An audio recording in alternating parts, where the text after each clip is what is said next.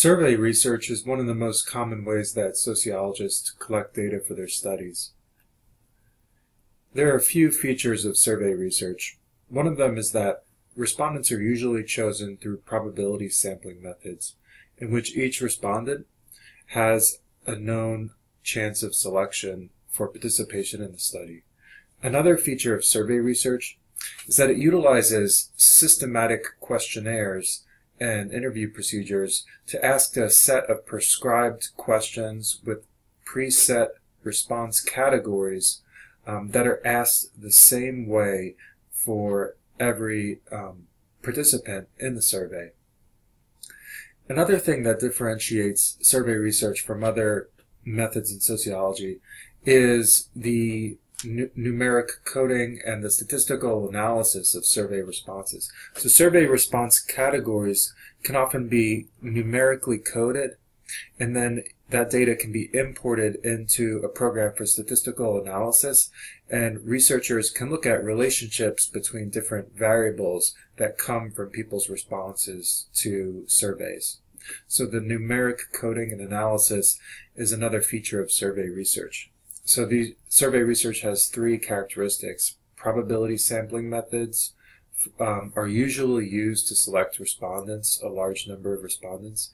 Systematic procedures with a set of questions that have corresponding response categories, and the quantitative analysis of survey data. Today we'll talk about two types of survey research designs. These include cross-sectional designs and longitudinal designs. Cross-sectional designs study a target population at a single point in time. So there are multiple survey interviews completed um, for each person in this, there, that each person is interviewed at one point in time. So in, in this case, we have time one, and there there's survey interviews completed by person one and person two. And this is um, one example of a cross-sectional design is the National Health Interview Survey.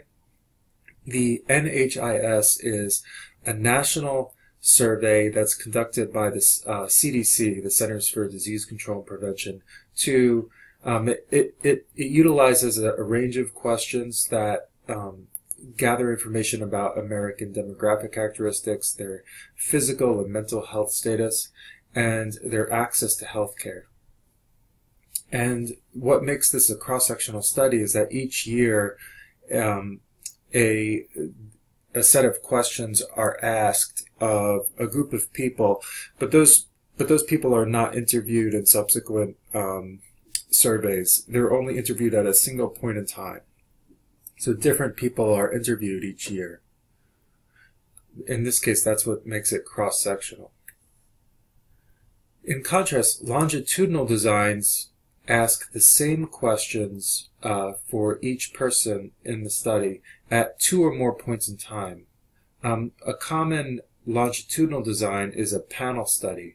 Uh, in a panel study, the same respondents are surveyed at two or more times. So in this diagram, you have time one and time two, and pers both person one and person two complete multiple survey interviews at two um, points in time.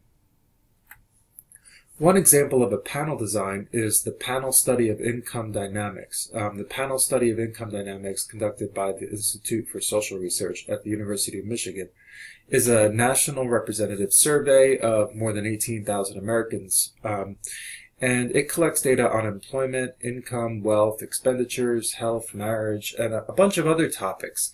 But what makes this a panel design is that those um, 18,000 Americans are surveyed at multiple points in time. In addition to panel designs, cohort studies represent another type of longitudinal design. Um, it's they cohort studies are also longitudinal because the same questions are asked at two or more points in time.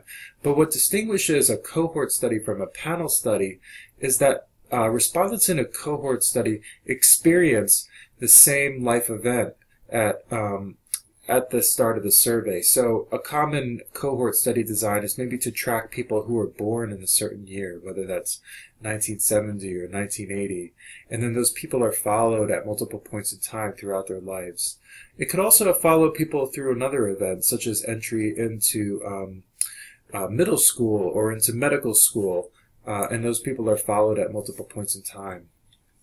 One example of a cohort study is the 1970 British cohort study.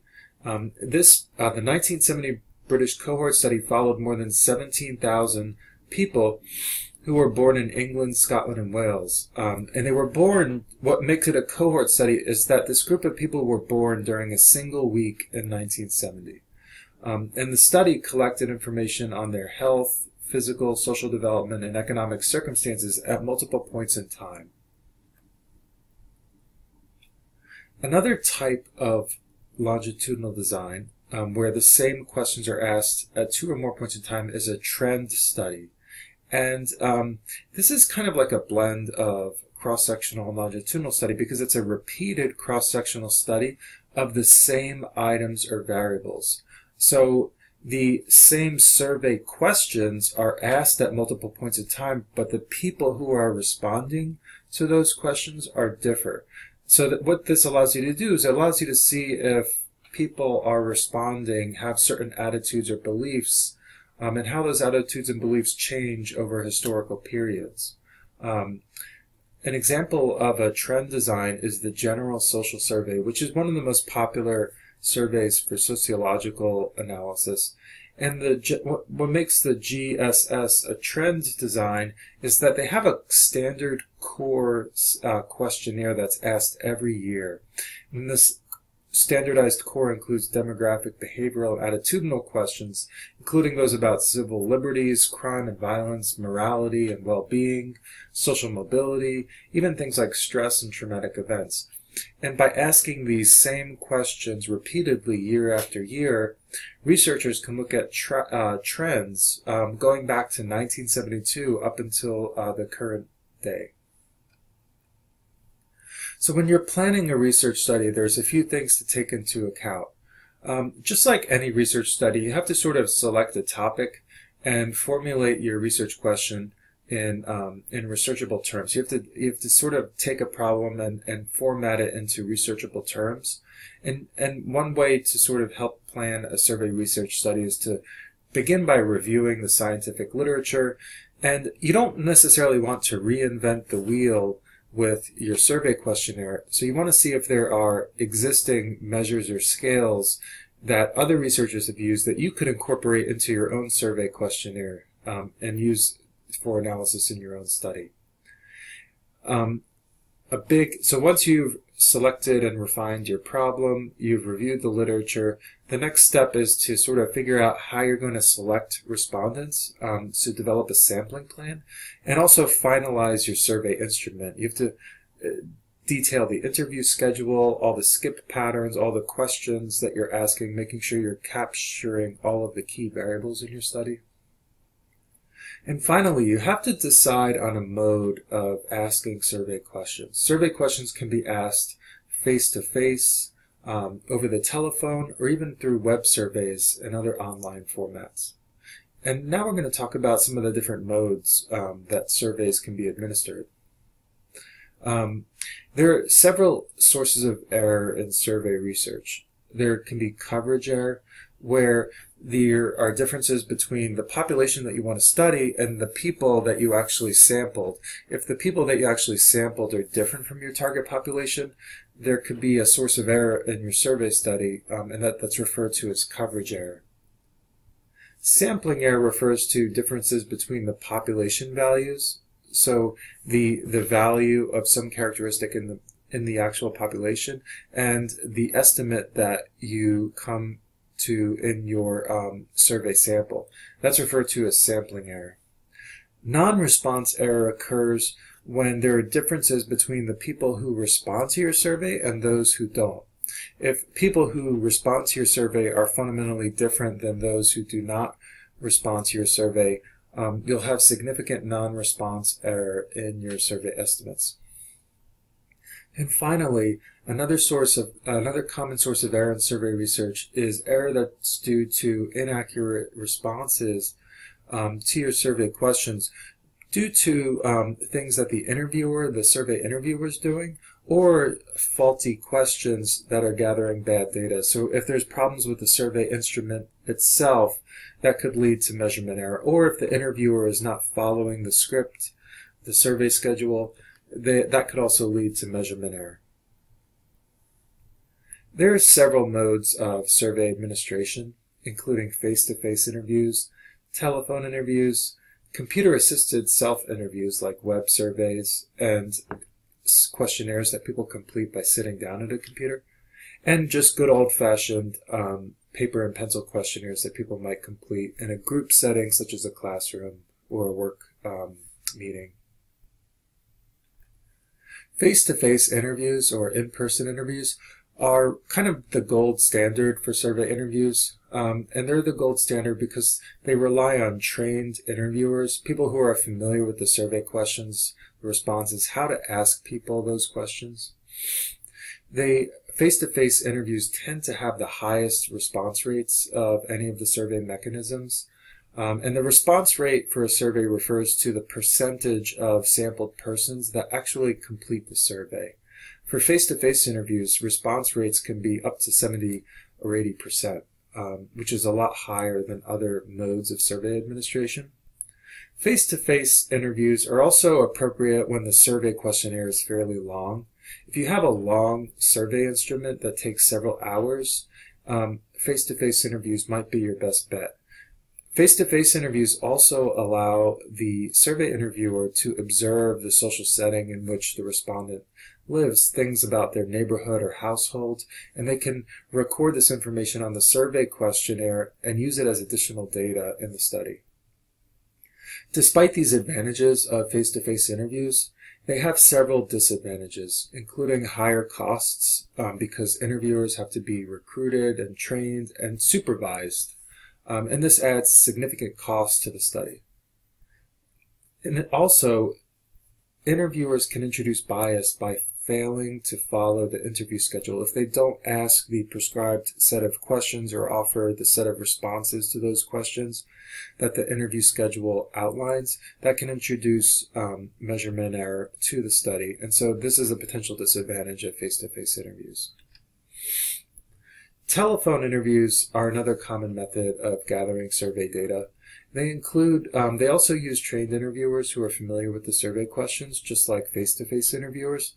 Um, but telephone interviews tend to actually have faster completion time, and, and they offer substantial savings relative to face-to-face surveys. However, telephone interviews tend to have lower response rates um, compared to face-to-face interviews. You know, roughly response rates between 20 and 50 percent, usually around 30 percent um, response rates for telephone interviews.